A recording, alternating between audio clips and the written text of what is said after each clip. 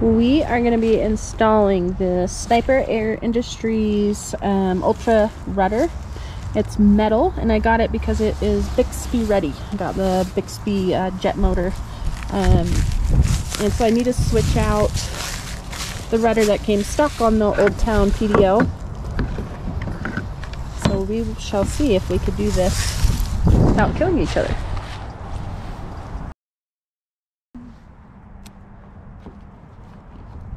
First we got to remove this thing. To remove the rudder we needed to undo this lever control. It was broken anyway so it needed to come off. So hopefully we can get it set up right so it's working correctly again.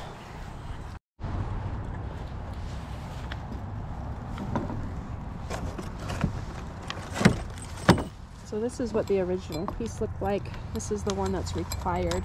Got this from Bixpy and it should fit the Snipe Air rudder.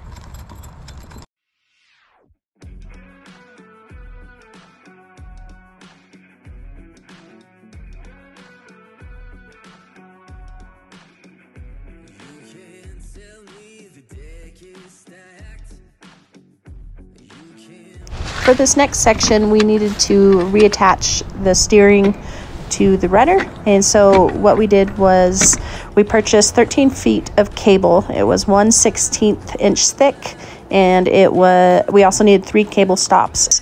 We put one cable stop dead center of the 13 feet of cable and that's where you tighten down the control, the steering control knob onto the cable so it doesn't slip. All right, so they popped out this other end nice and snug.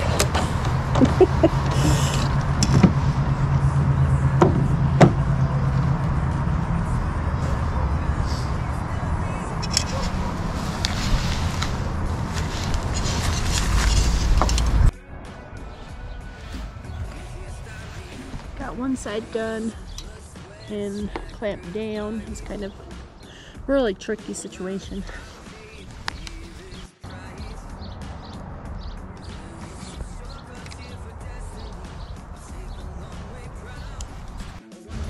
Alright, so now the rudder, Snipe Air Industries rudder is installed.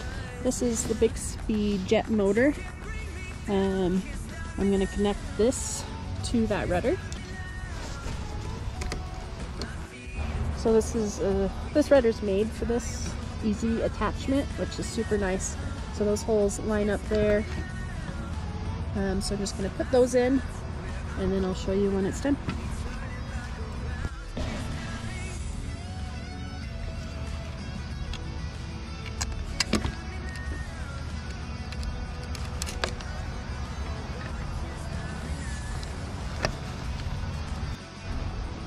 And we decided to add some Loctite before we finish putting these back on there. Alright, so it is all installed. We got the Bixpy motor onto the Snipe Air, I think it's called the Ultra Rudder. Yeah, Ultra Rudder. Everything works as it should. Steering back and forth.